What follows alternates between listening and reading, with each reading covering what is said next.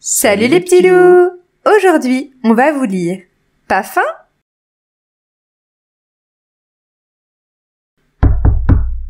Oh Mais qui voilà? Monsieur le loup?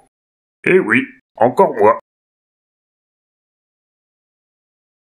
Oh là là, mais comme tu as un gros ventre, monsieur le loup. Ha ha ha Oui, j'ai bien mangé. Très bien mangé. C'était très bon. Je me suis régalé. Ah bon? Et qu'as-tu mangé de si délicieux alors? Un enfant. Un enfant? Quelle horreur Et pourquoi l'as-tu mangé, monsieur le loup? Il n'était pas sage. Pas sage du tout. Je l'avais prévenu. Oh, mais qu'est-ce qu'il a fait de si vilain pour que tu le manges? Rien. Il n'avait pas faim. C'est tout. Il ne voulait pas manger à table, il faisait des caprices et jetait tout par terre, comme un bébé. Je ne suis pas un bébé.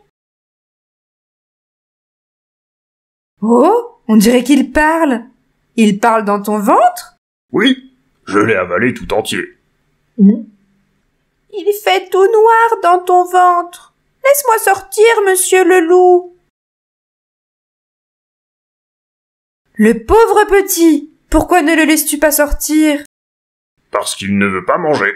Et les enfants qui ne veulent pas manger, c'est moi qui les mange. C'est aussi simple que ça. Je veux manger, j'ai faim. Maintenant j'ai Il a faim, il veut manger. Laisse-le donc sortir de ton ventre, monsieur le loup. Alors, si c'est pour ne manger que des bonbons et des gâteaux au chocolat et des desserts avant de passer à table, sûrement pas. Mais si je mangerais de tout, des épinards et des carottes, des fruits, tous les fruits et les légumes, cinq par jour, dix par jour, mille par jour, des côtelettes aux salsifis, du poisson aux arêtes, de la purée de navets et du camembert, je le jure. Ah, mais il est très sage cet enfant. Tu n'aurais pas dû le manger, monsieur le loup. Trop tard. Non, pas trop tard. C'est l'heure du dîner. Laisse-moi sortir. Tiens, voilà ton papa qui vient te chercher pour dîner, justement, monsieur le vilain petit loup. À table. J'ai pas faim. Moi, j'ai faim. Quoi? Qu'est-ce que j'entends?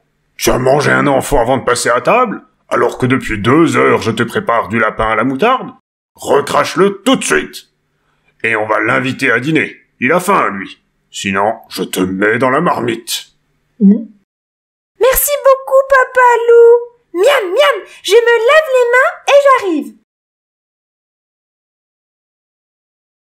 Bon appétit J'ai une faim de loup. Je peux plus te manger. Je suis privé de dessert. Et voilà, cette histoire est terminée, on espère qu'elle vous a plu. N'oubliez pas de vous abonner à la chaîne si vous voulez continuer à regarder les prochaines vidéos. Et en attendant, on vous dit à très bientôt sur. Qui douille